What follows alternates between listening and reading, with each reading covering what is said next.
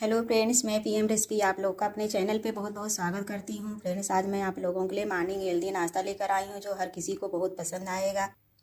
यह सेहत के लिए बहुत ही फ़ायदेमंद है, जो हर बीमारी को दूर करेगा और आपको हेल्दी और स्वस्थ बनाएगा। तो चलिए देख लेते हैं क्या है वो नाश्ता मॉर्निंग का। तो यहाँ पे मैं सबसे पहले ली हूँ आधी कटोरी चना। इसको बनाने के लिए भिगा दिया था। इसमें थोड़े से अंकुर हो गए हैं। बहुत ज़्यादा हमें अंकुरित चना नहीं लेना है कि एकदम से सड़ा दें उसको। उसको खाने से हमारे स्किन पे प्रॉब्लम आ जाती है। त्वचा तो हमारी ख़राब होने का डर रहता है, दाने वाने निकलने लगते हैं तो हमें बहुत ज़्यादा अंकुरित चना नहीं लेना है। तो इस तरह से हमें लेना है। तो चलिए इसको में डाल देते हैं। और यहाँ पे डालेंगे थोड़ा सा सेंधा नमक, स्वाद अनुसार। और यहाँ पे मैंने लिया है मसाले क्या क्या हैं। ये चाट मसाला है, अमचूर पाउडर है, ये हरी मिर्च है। आप अपने अनुसार कम ज़्यादा कर सकते हैं, जितना आपको खाना पसंद है। तो सभी मसाले को मैंने इसमें चीनी में ऐड कर दिया है, इसको अच्छे से मिक्स कर लेंगे ये अच्छे से मिक्स हो गया है। अब इसमें आगे और क्या डालते हैं, जो सेहत के लिए बहुत ही फ़ायदेमंद है। तो यहाँ पे मैंने लिए हैं कटे टमाटर थोड़ी सी बारीक प्याज, थोड़े से सेब।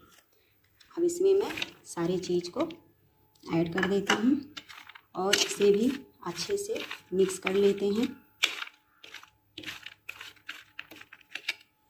थोड़ी सी भी कटोरी में लगा है, इसको भी डाल देते हैं। चलिए इसे अच्छे से मिक्स कर लेते हैं।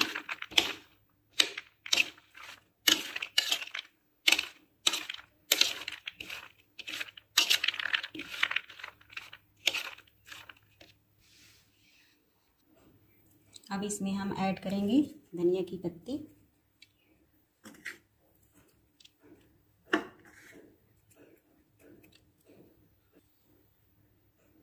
तो लीजिए फ्रेंड चने का हेल्दी फ्रूट्स नाश्ता बनके तैयार हो गया है।